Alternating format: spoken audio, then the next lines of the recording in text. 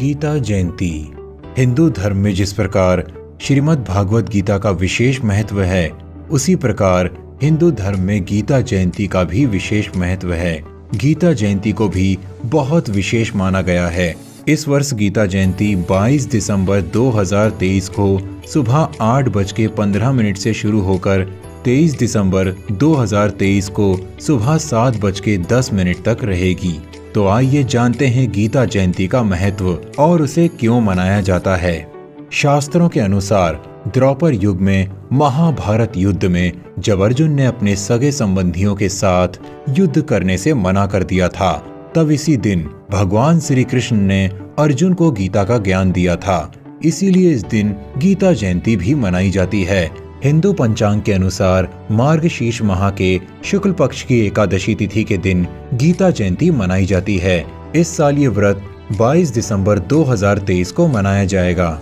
कुरुक्षेत्र में ही गीता जयंती के त्योहार का आयोजन किया जाता है।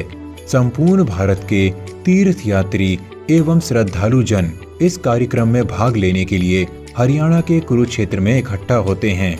श्रीमद भागवत गीता हिंदुओं के पवित्र ग्रंथों में से एक है। इस वर्ष गीता की पाँच हज़ार एक सौ साठवीं वर्षगांठ है।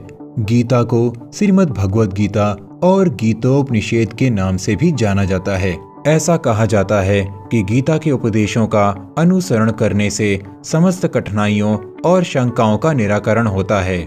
ऐसा माना जाता है कि दुनिया में किसी भी पवित्र ग्रंथ का जन्मदिन नहीं मनाया जाता है। लेकिन श्रीमद् भागवत गीता दुनिया का एकमात्र ऐसा ग्रंथ है जिसकी जयंती मनाई जाती है। इसके पीछे का कारण ये है कि अन्य ग्रंथ मनुष्यों द्वारा संकलित किए गए हैं। लेकिन गीता का जन्म स्वयं भगवान श्री कृष्ण के मुख से हुआ है। गीता में लिखा हुआ एक एक श्लोक भगवान श्री कृष्ण के मुख से निकला है और इसीलिए गीता जयंती मनाई जाती है और ये श्लोक मनुष्य का कल्याण करने में सहायता करते हैं। गीता में भगवान श्री कृष्ण ने मनुष्य को अच्छे बुरे और सही गलत का अंतर बताया है। गीता में ही बताया गया है कि कर्म पर ध्यान दो, फल की चिंता मत करो। कहते हैं कि गीता जयंती के दिन यदि गीता का पाठ किया जाए तो भगवान श्री कृष्ण का आशीर्वाद प्राप्त होता है। इस दिन हिंदू धर्म के महाग्रंथ, गीता, भगवान श्री कृष्ण और वेद व्यास जी की पूजा की जाती है।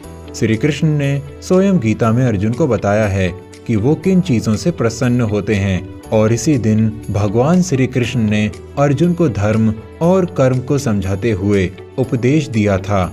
महाभारत के युद्ध में श्री कृष्ण के द्वारा अर्जुन को जो उपदेश दिए गए थे, उसे गीता कहा जाता है। गीता के उपदेश में जीवन जीने, धर्म का अनुसरण करने और कर्म के महत्व को समझाया गया है।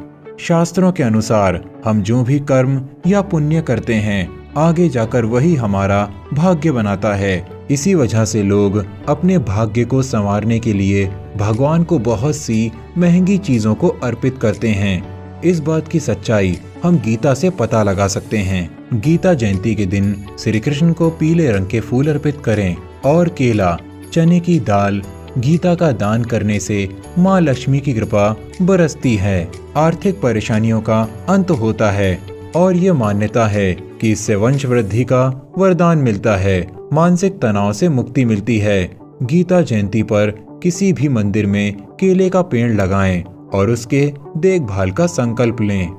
गीता में लिखे श्लोक, मनुष्य का कल्याण करने में मददगार हैं। गीता का हर एक श्लोक भगवान श्री कृष्ण के मुख से निकला है। कलयुग में गीता के उपदेश जीवन जीने का ढंग सिखाते हैं। गीता जयंती के दिन गीता का पाठ करने से भगवान कृष्ण का आशीर्वाद प्राप्त होता है और व्यक्ति के सारे दुख तकलीफ़ दूर हो जाते हैं। साथ ही ये दिन पितरों को मोक्ष दिलाने के लिए भी उत्तम है। इस दिन सच्चे मन से भगवान विष्णु की पूजा करनी चाहिए ताकि उनका आशीर्वाद प्राप्त किया जा सके और इस दिन उपवास रखने से व्यक्ति का मन पवित्र होता है।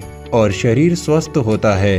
व्यक्ति को पापों से छुटकारा मिलता है, साथ ही जीवन में सुख शांति का अनुभव करता है।